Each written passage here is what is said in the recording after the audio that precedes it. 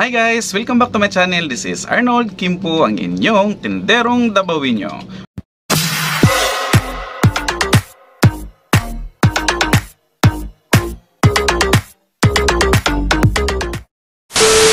For today's vlog mga ka-guys, dahil matagal-tagal na po na hindi nakapag-haul si Kuya AJ sa inyo ng mga pabenta nating pangmalakasang Benz colognes. Meron akong nabili guys. Kunti lang ito pero i-share ko pa rin sa inyo dahil meron po silang pa-promo. Ayan, meron pa-promo na naman ulit guys and mga pa-previous dyan tayo magaling and yan ang inaabangan natin lagi.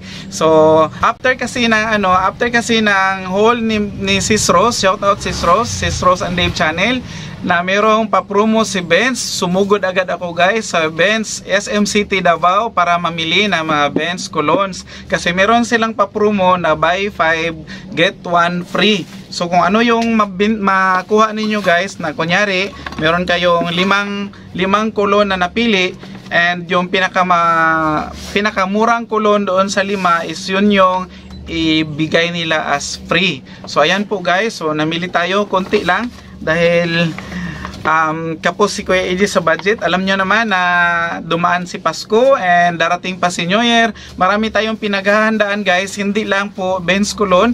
Uh, especially yung ating mga alak, ating mga beers and lahat ng mga mabebenta panahon ng Pasko at sa New Year is kailangan meron tayong uh, sapat na mga stocks para hindi tayo maubusan and maka uh, makabenta tayo na medyo malaki-laki and kikita na medyo tama-tama lang din para para pang Pasko at saka pang New Year. So yan lang po ang kasiyahan ng mga katulad natin and mga kasamahan natin mga kasari, mga negosyante, especially mga sari-sari store owners. Ayan guys, so tuloy tayo sa aking haul.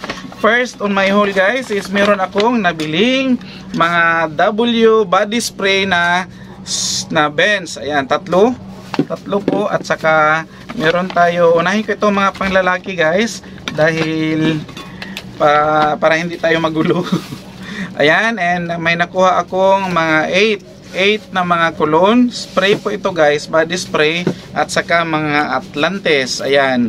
And usually guys pag itong mga malalaking mga cologne na ganito is ang benta namin is 140 tutubo lang tayo ng konti para at least mabilis pong mabenta yan, anyway, um, lagi naman tayong pumupunta sa mga malls and mag-grocery. So, madadaanan natin yung bilihan ng mga Benz, Cologne. So, pwede na tayong kahit kunti lang, at least hindi siya matingga sa ating showcase, sa ating glass showcase, and mabinta agad.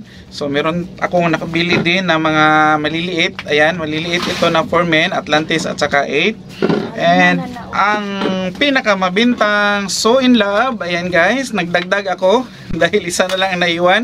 Lagi po kasi na kung hindi anim, sobra sa anim po yung um, dinidisplay namin na mga So in Love kasi mabinta po ito lalong lalo na sa mga kabataan. So shout out sa mga sa mga kabataan nating mga suki na namimili ng ating mga Benz So in Love Cologne. So namili din ako guys ng anim na mga So in Love na mga maliliit. Ayan guys, so yan po ang ating haul sa ating mga bench. Maikling video lang po ito guys, share ko lang. And nandito pa rin ang kanilang mga pa, pakapin, pakapin sa Bisaya, pakapin na mga envelope, mga bench envelope na pwede nating i sali pag may bumili and lalong lalo na ibigay nila as gift yung mga kolon na binili natin mga customers lagyan ilagay nila dito sa uh, pa-previous nila na mga envelope. Ayan.